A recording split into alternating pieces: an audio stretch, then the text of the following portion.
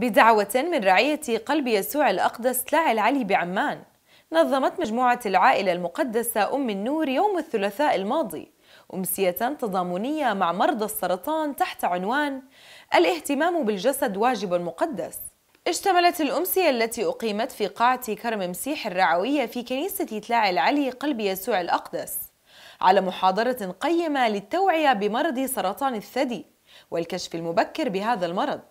ألقى الدكتور مروان العكشي مستشار أمراض الدم والأورام وزراعة النخاع. دعا فيها جميع النساء بضرورة التوجه إلى الجهات المختصة والمعتمدة لإجراء الفحوصات الذاتية والسريرية والإشعاعية للوقاية من هذا المرض.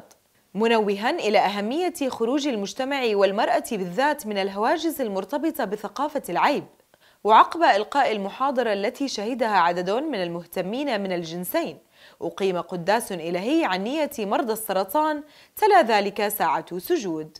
لفتة من الكنيسة لحتى نعبر عن تضامننا ومحبتنا لهالمرضى بنصلي لهم لحتى الرب يرفع صليب الألم عنهم ويعطيهم الشفاء التام.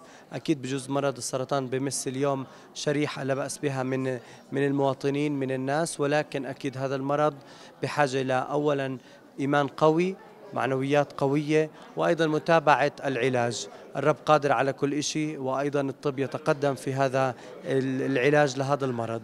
اليوم تحياتنا لجميع المرضى نتضامن معهم نصلي من أجلهم و بنقدم كل الإكرام وأيضا التقدير لهؤلاء المرضى. شهر تشرين الأول هو شهر توعية في سرطان الثدي.